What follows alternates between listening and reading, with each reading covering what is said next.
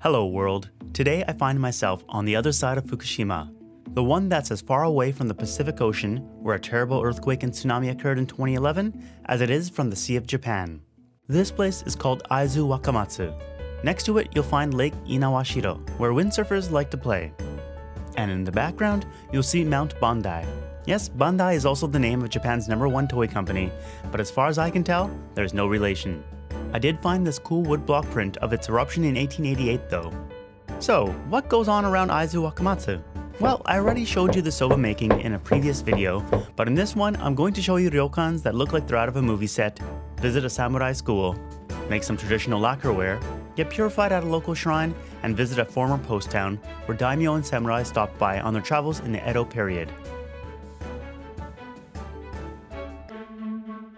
Let's first drop by the samurai school, because let's admit it, it sounds pretty cool. The Nisshinkan is a restored high school that was originally built for the high class children of the Aizu samurai clan.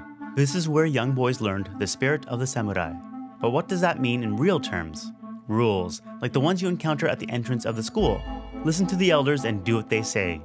Bow to your elders. Do not lie. Do not act in cowardice. Don't be mean to people weaker than you. Don't eat outside, or in other words, eat at the table. Don't talk to females outside do not do what you must not do. As you'd expect, samurai learned combat skills like how to shoot guns, yes, they shot guns, horseback riding, and archery. They're just fake arrows. They're really light.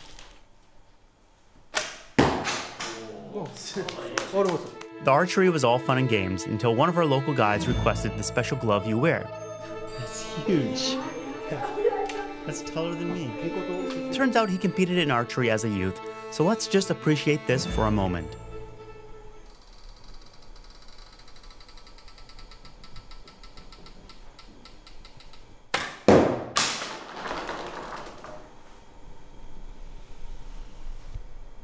I didn't show where the arrow went because I was told it's more about form than the result. But hey, maybe that's what you say when the total noob, me, had terrible form, yet still strikes the target on his second attempt.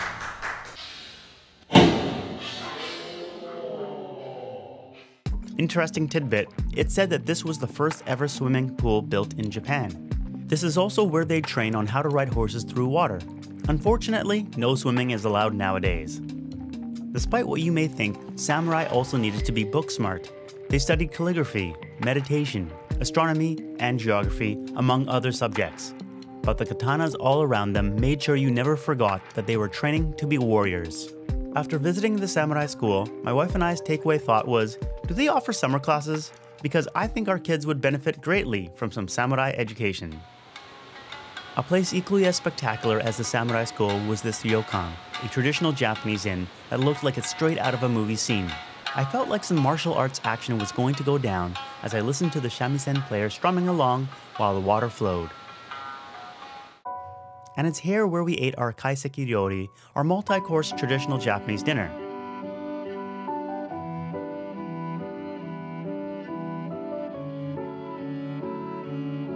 As if the many courses of food weren't enough, there was to be a special dessert being made before our eyes.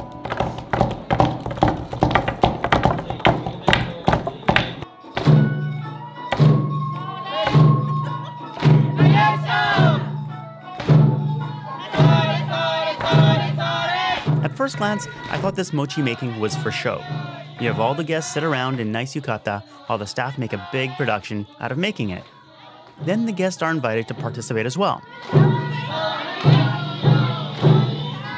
Like the archery, it started out all fun and games.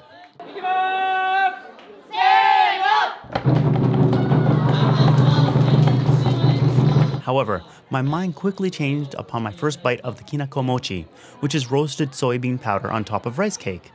It was still warm from the beating, and it was hands down the best I have ever eaten. They claim the region is great for mochi rice production, and after tasting it, I don't doubt it one bit. There was so much to do that we actually didn't spend too long in our rooms. One thing we made sure to enjoy was the onsen, our hot springs. This onsen is a private one, and it's massive. I guess it's if you have a large group that you all want to have a bath together with, I was just here all by my lonesome, although my wife was behind the camera filming my backside. This onsen is the regular public one. but because I woke up at 5 a.m. to film it, it was empty, and I could film it all to myself. Beyond this is actually a gorgeous view of the rushing river below, which you can see from my drone shot taken from dusk. The Aizu region is famous for many things, one of them being its lacquerware. At an exhibition we visited, we were able to see a plethora of designs available. There are also live demonstrations of the art in action. On the second floor, we got to paint the lacquerware ourselves. But to be honest, it was mostly us following a simple template. As much as I want to say I did this myself, it's really the master who came along and added his touches that made this piece special. I did it all by myself. Did I mention that this area is known for using gold leaf? Yep, that's us pressing gold leaf into our lacquerware. Gold leaf is a big thing in the area, as witnessed by this golden highlight of the art exhibit. However, for me, the more impressive material used was this shell. The Shokunin transformed it into this spectacular design. To tone things down again, let me take you to Hanitsu Jinja. While I purified my hands like a regular visitor, it's the oharai, the purification ceremony that I did, that was special. Most visitors pray outside of the honden, the main hall, but I got to go inside to do the more involved purification ritual. The priest purified me with a harai gushi. でここであのあのお好きなことをあ心の中でご記念いただいてお済みになりましたらお声かけください Uh, please worship, uh, pray for anything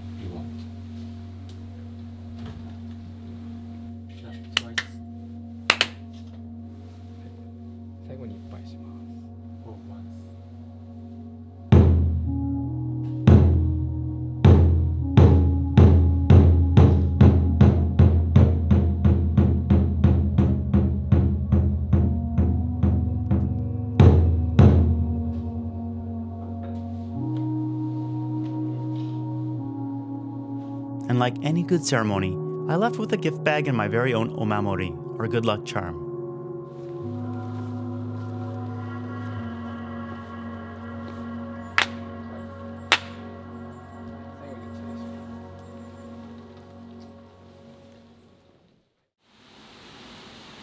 As you do in Japan on promotional tours, we visited another traditional Japanese inn and onsen. What I really enjoyed at this place was the kazokuburo, or kashikiri buro, which means family bath or private bath. For those of you wondering, if you can have a dip in the hot springs privately, whether it's because you have tattoos or you want to share a relaxing time with a loved one, this is how you would do it. This is a Gensen Kake Nagashi Onsen, which means that it's pure hot spring water that goes directly into your tub, and when it flows out, it's flowing out right into the river beside it. Strip away the building, and it's about as close as to an in the wild hot spring that you'll get.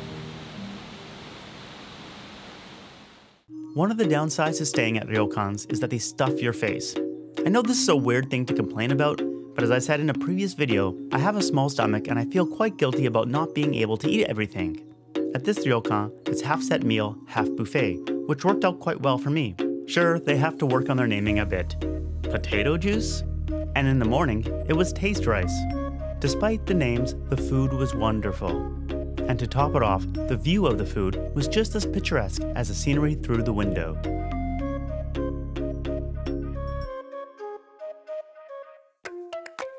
I feel like some areas in Japan are good for a higaeri, our day trip, but I have to say that Aizu Wakamatsu isn't one of them. Because I didn't even mention our visit to Tsurugajo, which they'll eagerly tell you is the only castle in Japan that has red tiles, nor did I show you Ouchijuku, which was a former post town. It's been recently rebuilt to replicate the look and feel of the Edo period, which was centuries ago. And one small tip for you avid videographers and photographers. If you want to get the shot and get it right, make sure to dress like you belong. If you remember from my previous Soba video about the area, I had a brief stint working in the Soba fields. Well, I didn't have time to change, so on me I had my whole outfit complete with rubber boots, so I thought why not make use of them and film this little irrigation channel. I have no clue why I was shooting it, but the locals seemed to be quite curious.